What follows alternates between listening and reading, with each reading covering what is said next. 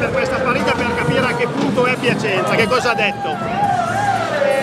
Ma ci sono state tre set, penso di alto livello, penso che i primi tre set eravamo nettamente sopra con delle percentuali che è strano trovarsi sotto 2-0 che avere il 64% in attacco complessivo, quindi è chiaro che non siamo riusciti ad incidere, sicuramente anche per merito loro, col nostro servizio e loro per gran parte della prima, della prima fase della partita avevano delle percentuali di ricezione molto molto alte.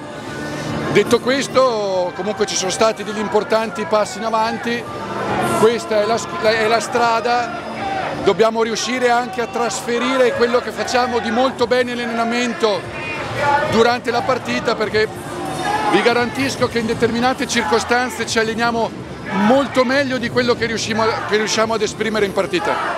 La differenza principale battute e ricezioni mi sembrano anche nel quarto set, Semeniuk all'inizio, Quintischi dopo, è a scavare parecchi importanti. Eh sì, ci sono stati i due, eh, i due, turni di battuta di Seminiuk e di Plotnischi dove noi dobbiamo avere anche la capacità di capire che non dobbiamo sempre pretendere o voler ricevere doppio più perfetto perché con, eh, con gli attaccanti che abbiamo noi possiamo tranquillamente far punto anche se la ricezione è un po' più staccata.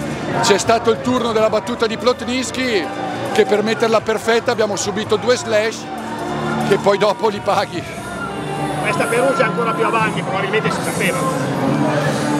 Ma allora Perugia è sicuramente la squadra più forte della Superlega e che penso che abbia il roster più forte del, di tutte le squadre di Serie A degli ultimi dieci anni.